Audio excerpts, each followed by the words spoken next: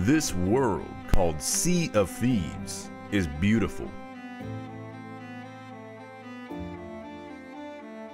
With luscious fields of green, with wondrous waterfalls, and with lively livestock to fill its land. It is no wonder that inhabitants of this land fall in love with its beauty. But as everyone knows, looks can be deceiving. Behind every corner, dangers lurk about. Though long-time inhabitants are grown accustomed to these dangers, the noob, however, is not. Upon arriving to this world, the noob is unaware of all of these dangers lurking about. Some of these dangers are not only man-made, but some are natural, and some are supernatural. Noobs may fall victim to some of these traps laid around the world.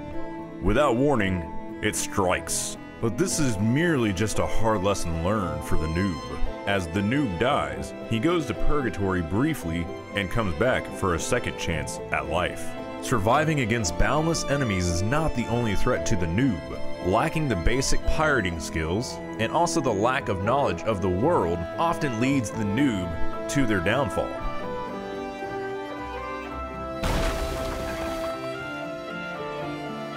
The seas are filled with megalodon sharks and krakens, and they both pose a threat to the noob.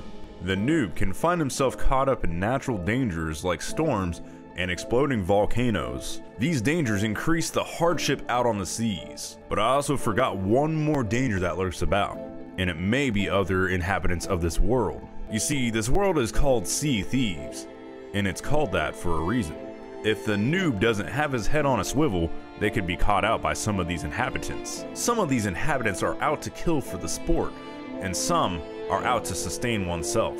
As time goes on, the noob's role in this world is often clearly defined. Some noobs prefer a more honest way of life. They often do favors for the locals in exchange for gold. There are those who take another route, and it is a life full of piracy. The pirate life is also a very unique one. They love to steal from the honest ones and give that treasure to the locals that the honest ones were trying to give to in the first place. It's kind of screwed up if you think about it. But such is life here in the Sea of Thieves.